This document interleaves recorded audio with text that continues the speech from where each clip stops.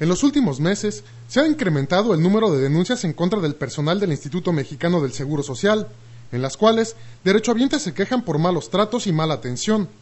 El doctor Humberto Pérez, jefe de prestaciones médicas del IMSS, comenta acerca de este tema.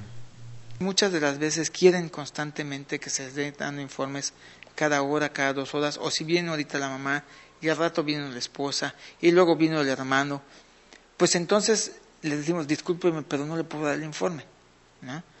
¿no? me quieren dar informes de que no sabe cómo está mi paciente. Cuando ya se lo dimos a la persona que estuvo en la mañana a las 8 cuando se pasó la visita. ¿no?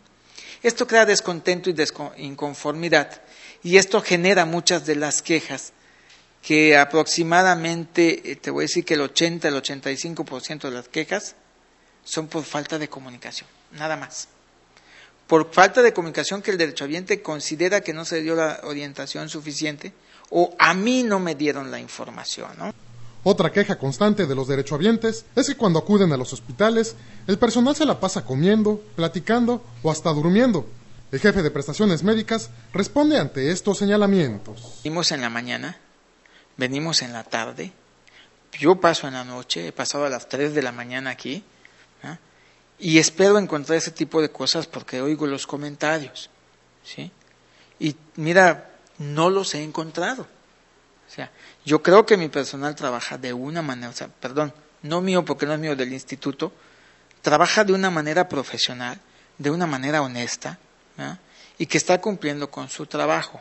Ahora, sí hay gente que duerme y a veces hasta lo confunden. ¿sí? tú pasas en los pisos temprano y yo te puedo decir que hay gente durmiendo. Y no son los trabajadores, son a veces los mismos familiares que se quedan a dormir allá. Si usted es derechohabiente y siente que ha recibido mala atención por parte del personal del IMSS, puede interponer su queja directamente en el Departamento de Orientación y Atención al Derechohabiente.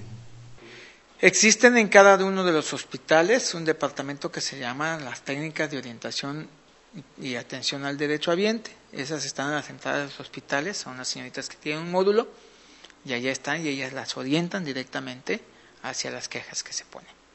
Con imágenes de Germán Espiridión informó para Notivisión Israel Chávez.